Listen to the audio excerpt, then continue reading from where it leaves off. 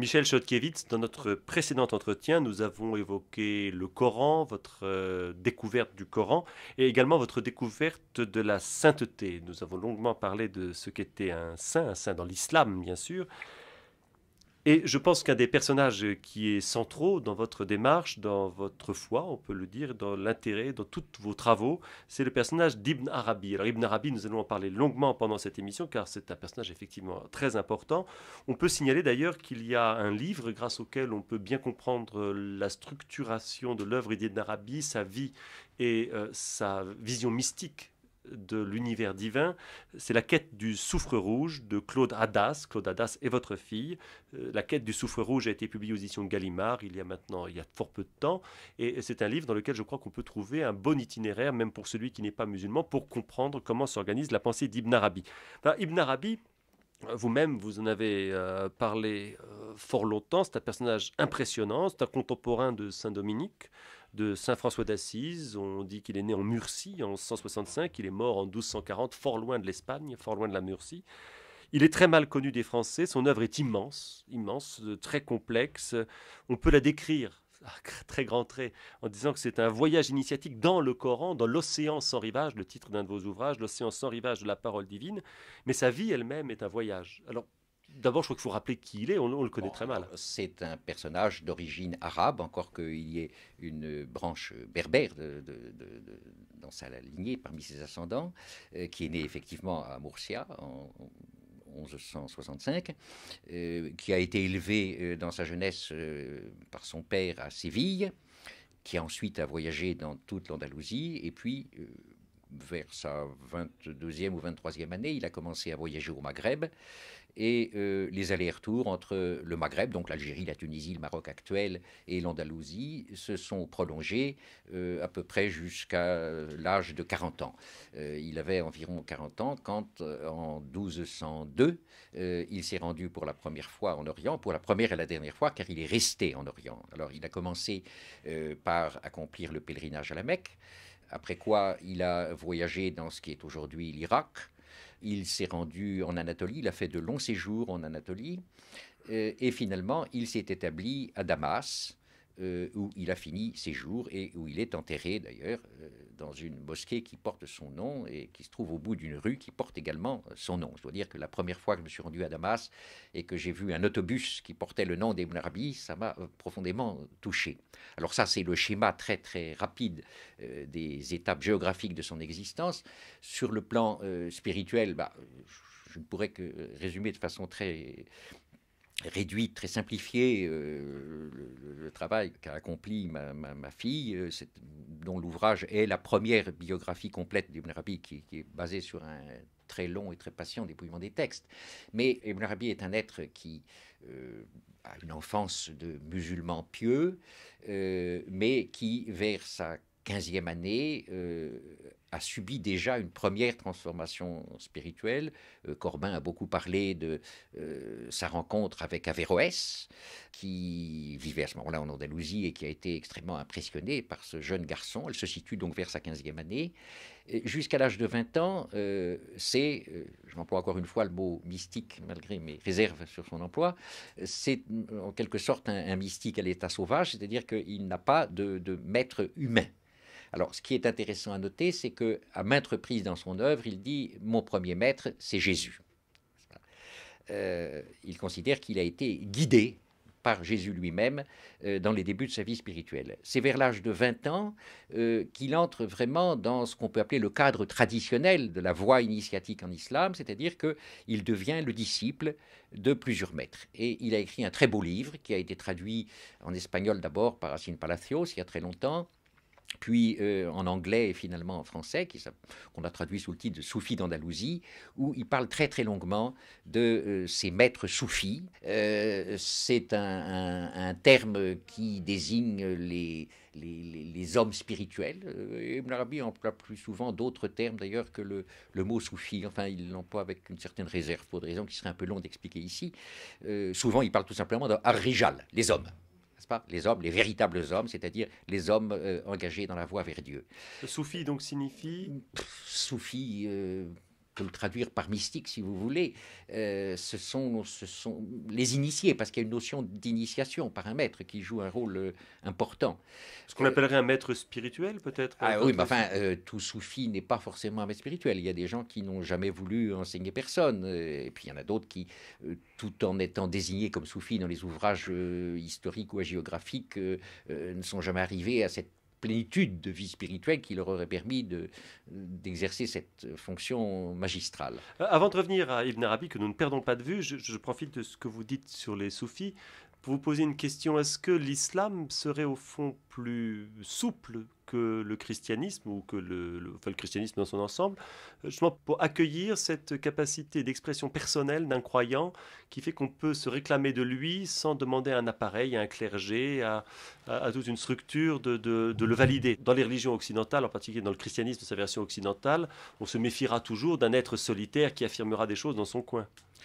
Bien entendu. Alors en islam, euh, j'avais mentionné lors de notre premier entretien qu'il n'y a pas d'autorité canonique, il n'y a pas de pape, il n'y a pas d'évêque, il n'y a pas de concile.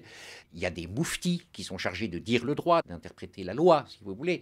Mais euh, un moufti qu'il ait été désigné à ce poste par un souverain, par un président de la République, ou qu'il euh, le soit simplement parce que sa compétence est reconnue, euh, n'a pas le pouvoir de lier les croyants, parce qu'un autre moufti peut dire exactement le contraire. Alors, on va être amené à propos Arabi à parler des très violentes polémiques qui ont éclaté à son sujet dans la communauté musulmane et qui se perpétuent de nos jours. Euh, mais ce qui est sûr, c'est que, en tout cas, euh, jusqu'au XVIIIe siècle, c'est-à-dire jusqu'à l'apparition du wahhabisme. Nous nous trouvons dans une situation où, bien sûr, il y a des personnages, et souvent des, clercs, des, juristes, des docteurs de la loi, qui critiquent le soufisme, et notamment, et beaucoup plus que d'autres, Ibn Arabi, euh, ils ne représentent pas la majorité. Dès la fin du XIIIe siècle, vous avez un personnage bien connu, euh, Ibn Taymiyyah, dont se réclament d'ailleurs les Wahhabites, qui attaquent très violemment euh, bien des formes de mystique, et en particulier celles que représente euh, Ibn Arabi. Mais Ibn Taymiyyah et ses successeurs, il aura des disciples tout au long des âges, occupent une position minoritaire jusqu'au moment où la tendance qu'il représente recevra l'appui d'un support politique, à savoir le mouvement wahhabite qui au départ est très très petit. Il naît dans le Najd, qui est une province d'Arabie saoudite, enfin de ce qui est aujourd'hui l'Arabie saoudite. Euh, euh, il est très petit, mais très militant, n'est-ce pas? Jusqu'à cette époque-là, le consensus le consensus euh, des soufis, des hommes de loi et du peuple des fidèles dans son ensemble est un consensus qui est favorable au soufisme. Alors Ibn Arabi, pour revenir à lui, est quelqu'un qui d'abord se réfère à Jésus qu'il n'a pas rencontré, il ne l'a rencontré que par les Écritures. Et il dit qu'il l'a rencontré. Donc c'est un mystique là. Mais bien sûr. Bien sûr, non, mais il, ne parle pas de, Jésus, n'est-ce pas? Bon, euh, il est fort peu probable que Ibn Arabi ait lu les évangiles. Euh, les quelques allusions qu'il fait aux évangiles euh, sont basées sur des notions qui étaient communes à tous les musulmans cultivés. Vous savez, il ne faut pas oublier que dès, dès, son départ, dès les années qui ont suivi la mort du prophète, l'islam a conquis des territoires où vivaient de nombreux chrétiens, que des traductions des évangiles en arabe ont été faites. Euh, et qu'un certain nombre de, notions évangéliques circulaient. Mais euh, Ibn Arabi, quand il parle de Jésus, ne se réfère pas à un livre, il ne se réfère pas aux évangiles ou à quoi que ce soit, euh, il se réfère à, des visions, à une rencontre personnelle en mode visionnaire avec Jésus. Mais cette vision n'a pas, si je puis dire, de poids dans sa, enfin, elle a un poids certain dans sa vie, dans, dans, sa vocation, mais il faut qu'il rencontre quelqu'un, une nouvelle fois, qu'il rencontre un, un, personnage, un personnage réel, historique, existant. Alors, je dirais qu'il il y a le, je, vais employer une expression qui ne me satisfait pas entièrement, qui est un peu paradoxale, mais je dirais que euh, euh, Ibn Arabi est en quelque sorte, pendant ses premières années, entre 15 et 20 ans approximativement, une sorte d'autodidacte spirituel. L'expression ne me satisfait pas parce que justement, il se réfère à des visions. Euh, et par conséquent, il a des maîtres spirituels, mais des maîtres qui ne sont pas des maîtres terrestres. Euh, et puis, à partir de 20 ans, il rencontre euh, donc toute une série de maîtres. Et alors là, euh, ce qui est admirable dans, ce livre dont, j'ai parlé, qui existe en français maintenant, c'est ce monde musulman andalou qui nous fait découvrir. Car les saints dont il nous parle ce ne sont pas, dans l'immense majorité des cas, des personnages très connus. D'ailleurs, les, historiens ont à peine noté leur nom, quand ils les ont notés. Ce ne sont pas euh, des personnages importants dans la communauté, ce sont de, petits artisans, de petits commerçants, des muezzines de mosquées de quartier ou de villages, mais dont ils nous révèlent la sainteté. Euh, c'est un texte très émouvant. Euh, très facile à lire aussi, et je pense que c'est une assez bonne introduction au monde d'Ibn Arabi, parce qu'il est très, très simple. Euh, c'est une, une, légende dorée sans dorure, car il, parle des hommes qu'il a connus, il en parle avec euh, simplicité, euh, il nous fait admirer l'intensité de leur vie spirituelle, le, le, charisme de leur présence. Et ces maîtres, ils sont nombreux, il en mentionne plusieurs dizaines. Alors, il a été en rapport euh, inégaux avec tous, bien sûr. Il y en a qui l'a fréquenté plus longtemps que d'autres, mais euh, ça a contribué de façon importante à sa formation. Et puis, euh, cette rencontre de, de, maîtres spirituels, elle se prolonge lorsqu'il commence à visiter le Maghreb, où il en rencontre d'autres. Il quitte l'Espagne. Euh, non, il ne quitte pas l'Espagne, il fait des allers-retours. Beaucoup de musulmans faisaient cela à l'époque. Et euh, il, se rend au Maghreb, et puis il revient en Andalousie, puis il repart, etc. Il y a donc toute une période de, voyage. Et d'ailleurs, un des aspects les plus surprenants de l'histoire d'Ibn Arabi, c'est qu'il réussit à tant écrire euh, dans une vie qui, jusqu'aux 17 dernières années, pendant lesquelles il s'est fixé à Damas, a été une vie d'errance perpétuelle. Car quand il est en Andalousie, il voyage aussi. Il ne reste pas indéfiniment au même endroit, euh, il va de village en village, il fait la même chose au Maghreb, de maître en maître, et euh, il trouve le moyen, ses premières œuvres semblent dater de la période euh, où il visite le Maghreb, euh, il trouve le moyen d'écrire des dizaines de milliers de pages. alors quand on pense aux conditions de voyage qui étaient celles de l'époque, euh, qui était plutôt acrobatique. Un voyage en mer, c'était un voyage euh, périlleux. Euh, les voyages à pied, alors notamment ceux qu'il a fait en Anatolie. L'Anatolie, c'est un, pays difficile, rude, escarpé, froid, l'hiver, etc. Et on a des textes où figure la mention, j'ai rédigé ce texte à tel endroit, etc., pendant une halte, n'est-ce pas? Il trouve le moyen d'écrire. Je dirais qu'il y a là une espèce de, de miracle n'est-ce pas, qu'il réussit à consigner tant de choses euh, tout en étant harcelé par des disciples, car avec le temps, euh, les disciples s'assemblent autour de lui. Il avait donc à répondre à leurs questions, à les guider spirituellement. Il y avait ces, déplacements continuels.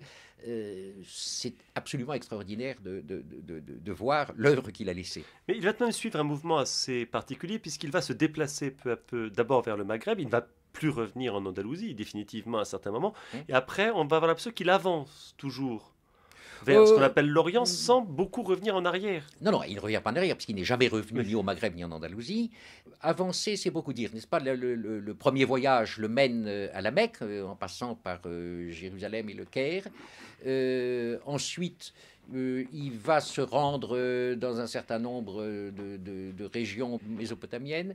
Il fera de, longs séjours, comme je l'ai dit, en, Anatolie et en Syrie. Et puis finalement, il se, fixera en Syrie. Mais est-ce que cette avance géographique correspond chez lui à une extension de sa géographie mystique? Parce que vous n'aimez pas le mot, mais ce qui est frappant de l'œuvre d'Ibn Arabi, c'est que c'est une véritable cartographie des relations avec Dieu. Enfin, il parle d'océan sans rivage, la formule est belle, parce qu'il il essaye même de tracer des îles, des endroits, des repères. Et, et on a l'impression qu'à côté du monde terrestre qu'il a arpenté, il a construit une véritable euh, cité céleste très organisée avec des repères, il y a des pôles d'attraction, il y a des personnages, il y a des lieux.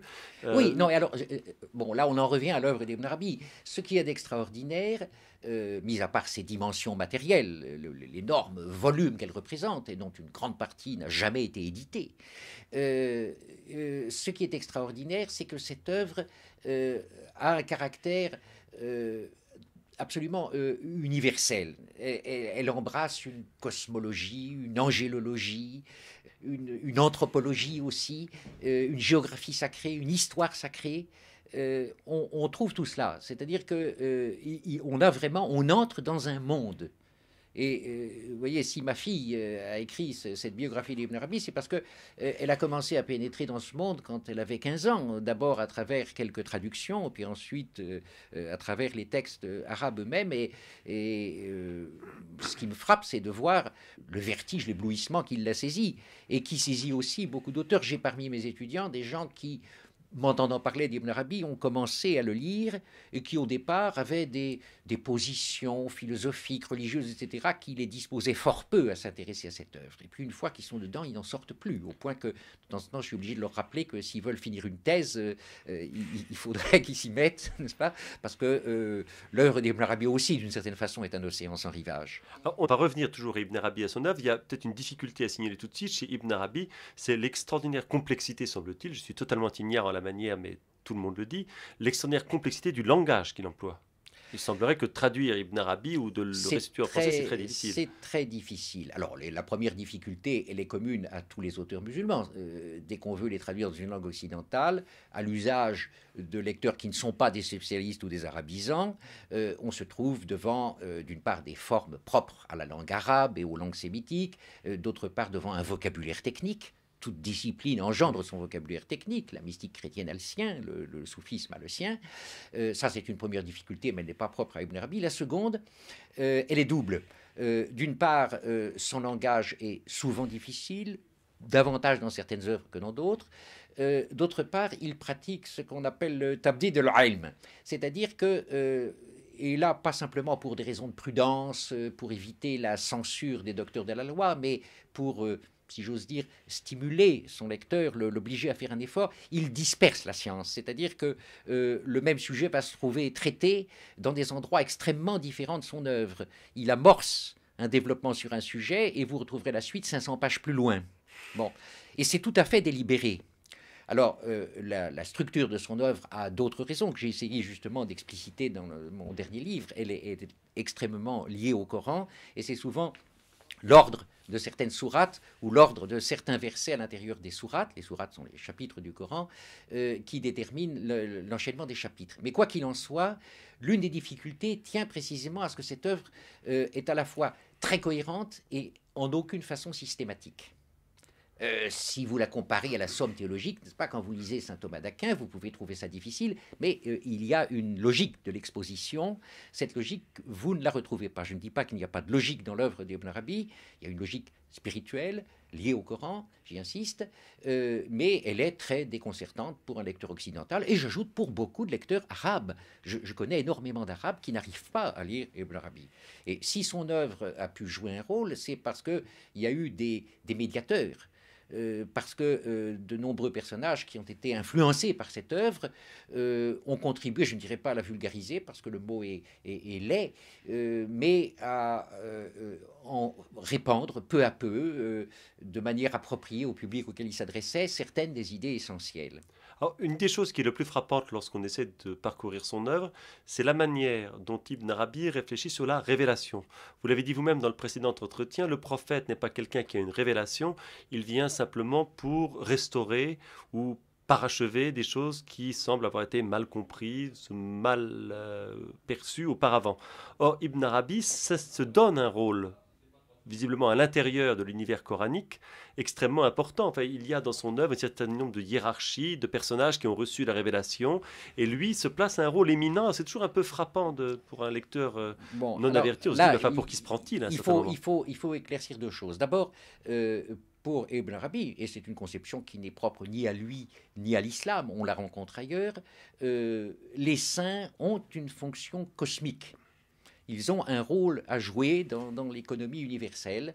Et euh, cette notion de hiérarchie, elle est fondée d'ailleurs sur des paroles du prophète lui-même. Euh, et elle est bien antérieure à Ibn Arabi, n'est-ce pas? Elle a été euh, envisagée, mentionnée, etc., dans bien des écrits avant lui. Il est le premier probablement à en donner un exposé synthétique parfaitement cohérent. Donc il y a une fonction du saint, c'est très, très important. Il faut distinguer quand on parle de la sainteté ce qui est la nature de la sainteté et ce qui est la fonction. Ce sont deux choses tout à fait différentes. Il faudrait ajouter aussi la notion de degré de la sainteté. Bon, euh, c'est une notion commune d'ailleurs, on rencontre la même, les chrétiens savent bien que tous les saints ne sont pas également saints, ne sont pas au même degré. Mais le, degré d'un saint n'entraîne pas sa fonction. C'est-à-dire qu'un saint peut avoir atteint un degré très éminent de, sainteté euh, sans avoir nécessairement euh, la fonction la plus éminente dans cette économie divine dont je, parlais. Alors, dans le cadre de cette euh, hiérarchie des fonctions de la sainteté, Ibn Arabi, en effet, s'appuie sur des, des, visions, sur des inspirations divines, pour s'attribuer un certain rôle qu'il désigne sous le nom de, de sceau des saints. ça ne veut pas dire qu'il est le dernier saint, il y aura des saints jusqu'à la fin du monde, et s'il n'y en avait pas, le monde aurait déjà fini. Euh, c'est en tout cas son, point de vue. Le sceau des saints n'est pas le dernier des saints, il est celui euh, qui euh, représente intégralement la sainteté mohammedienne, la sainteté du prophète Mohammed, et dont toutes les autres formes de sainteté ne sont que des réfractions, si vous voulez. Alors, vous êtes un peu surpris, vous dites, mais pour qui se prend-il? Il a toute une hiérarchie des situations dans l'au-delà, si je puis dire. Il se place assez haut lui-même, d'ailleurs, dans cette hiérarchie. Vous, savez, il y a une sourate du, Coran qui, euh, s'adressant au prophète, euh, lui dit Et les grâces de ton Seigneur, proclame-les. Le tahadduth bi Et cette notion qu'il faut proclamer euh, les grâces qu'on a reçues de Dieu, euh, est à l'origine de tout un secteur très intéressant de la littérature géographique, c'est la littérature autobiographique, c'est celle où les saints parlent d'eux-mêmes, et où à la fois on les voit, et c'est le cas d'Ibn Arabi, euh, affirmer leur totale indigence ontologique et, affirmer les grâces qu'ils ont reçues. Ibn Arabi à maintes reprises se désigne comme le serviteur à l'état pur. Et le mot abd, que je traduis par serviteur, en réalité devrait se traduire par esclave. Il est vraiment l'esclave de la volonté divine. À un moment donné, parlant du, prophète, il dit, n'est-ce pas, je, ne suis qu'un poil de, l'envoyé de Dieu. Bon. Euh, et en même temps, il proclame des grâces et il a reçu, alors on est libre ou non de le croire, euh, il a reçu euh, l'assurance par Dieu qu'il avait une certaine fonction à remplir et il le dit. Il le dit de manière d'ailleurs parfois ouverte, parfois cryptique, selon les, ouvrages, selon les auditoires auxquels euh, il s'adresse. Mais en cela, il fait ce que font d'autres saints, proclamer les grâces qu'on a reçues de Dieu, c'est rendre grâce à Dieu c'est un acte de gratitude, c'est un acte d'humilité et non pas un acte d'affirmation de soi. Et quelle est finalement la, fonction qu'Ibn Arabi s'attribue et qui lui vaut des, un mauvais accueil de certains de ses contemporains Oui, alors ça, c'est pas lié seulement à cette, euh, cette fonction. C'est c'est pas tellement ses contemporains. On a beaucoup exagéré euh, les, critiques auxquelles Ibn Arabi aurait été en but de son vivant. Et il y a cela une bonne raison, c'est que euh, beaucoup de ses œuvres de son vivant n'avait pas circulé en dehors d'un cercle extrêmement restreint de disciples. Il est mort en 1240 et au fond, euh, c'est dans les années qui ont suivi et surtout vers la fin du siècle que beaucoup de ses œuvres, qui jusque-là étaient non pas clandestines mais peu diffusées, ont été lues. Et c'est à ce moment-là que vraiment ont commencé les grandes hostilités contre lui, déclenchées en particulier par un personnage d'ailleurs tout à fait remarquable dans son genre qui est Ibn Taymiyyah. À partir de ce moment-là, il y a eu donc tout au long des siècles, euh, mais je vous ai dit tout à l'heure que c'était une situation relativement minoritaire, un courant de, de, docteurs euh, qui critiquaient Ibn Arabi pour sa doctrine. Il voyait dans sa doctrine une perversion due à l'influence des, philosophes euh, et qui conduisait à ce que j'appellerais sommairement le panthéisme. je suis personnellement convaincu qu'il n'y a aucune espèce de panthéisme chez Ibn Arabi, mais c'est l'accusation qui, qui était portée contre lui par des gens qui avaient fort mal lu son œuvre c'est impossible de résumer la doctrine d'Ibn Arabi, mais quel est au fond le, le nœud central de, ce qu'il peut révéler? Bien sûr difficile vu le nombre d'ouvrages et l'ampleur de son œuvre. Oh là, alors là, vous me posez une question en effet à laquelle je ne peux pas répondre euh, en, deux minutes. Bon, la notion euh, essentielle, celle qui a été mise en évidence euh, par ses adversaires pour le combattre, c'est celle à laquelle on a donné le nom en arabe de wahdatul wujud, c'est-à-dire d'unicité de l'être. Et c'est des ambiguïtés ou des incompréhensions sur cette notion euh, qui ont conduit aux accusations de panthéisme, qui ont souvent été reprises par les orientalistes, qui le sont moins aujourd'hui parce qu'on le connaît un petit peu mieux, euh, mais qui ont été euh, la source de, tout cela. Mais au-delà de, au -delà de cet aspect proprement métaphysique de sa doctrine, c'est ce qu'on lui a reproché aussi, c'est la place qu'il accordait aux prophètes. Euh, alors cette place, bien sûr, elle est éminente pour tous les musulmans, quels qu'ils soient, mais euh, on lui a reproché en quelque sorte de diviniser le prophète. Bon. Ce sont des accusations qui, à mes yeux, ne, tiennent pas debout dès lors qu'on lit les textes, mais euh, une lecture un petit peu rapide ou mal informée peut permettre en effet de croire à quelque chose de ce genre. Panthéiste, c'est-à-dire qu'on estimait que son, euh, son chemin vers Dieu, sa sensibilité à Dieu était trop générale, trop vague, pas assez ancrée dans la société islamique? Ah non, non, non, ça c'était beaucoup plus précis que ça. Ça portait sur des points de, doctrine tout à fait essentiels. On lui reprochait de confondre euh, Dieu et, la créature. Il aimait trop euh, l'univers. Enfin... Euh, c'est pas seulement qu'il aimait trop l'univers. On lui reprochait de soutenir une doctrine dans laquelle il n'y aurait plus aucune différence entre, le créateur et la créature. C'est ce qui revient à, diviniser la créature.